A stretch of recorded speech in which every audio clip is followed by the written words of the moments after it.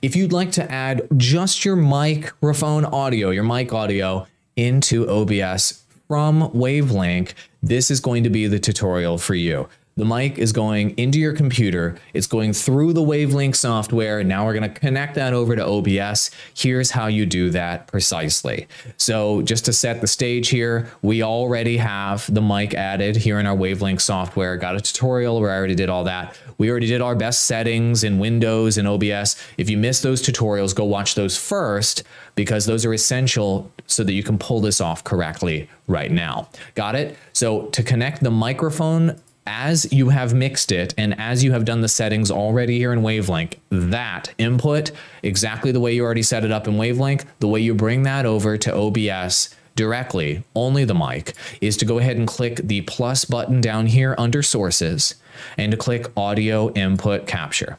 Then what you're going to do is you're going to type in the word mic here or whatever you want to call it. Mic makes the most sense. And the device you're going to select here, this is very important. Do not leave it on default it could choose whatever you have as your system default, manually select mic in. Got it?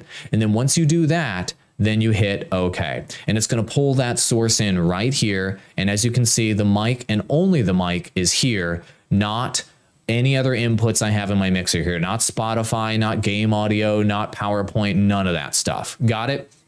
Couple bonus settings that you guys can use here to make the microphone sound even better what I like to do, just as a standard setup for my consulting clients, I like to go to the GearCog filters, and there's just a few filters that I like to add. So what you're gonna do is you're gonna click the plus button here, and the first filter I like to add is noise suppression. This is a very sensitive microphone with a lot of background noise. So I like to hit OK, and that'll kill the background noise with the RNNoise Good Quality filter.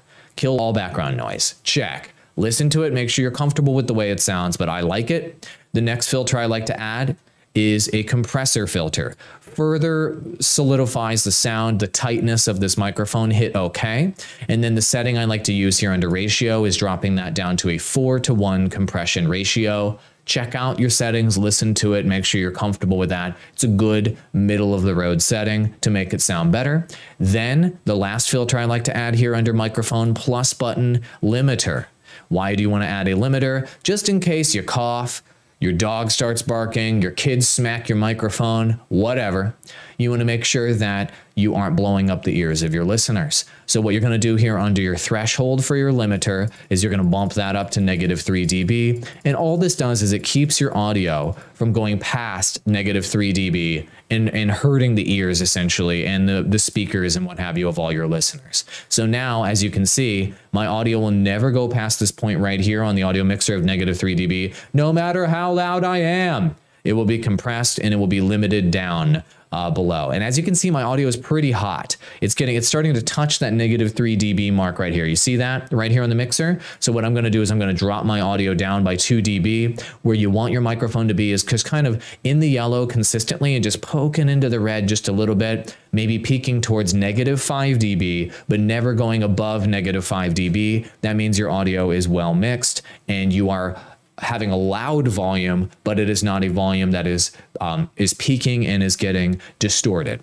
That's how you add your mic directly to OBS using Wavelink. Make that connection happen. Enjoy the Wavelink software, and I'll see you in the next one. Adios.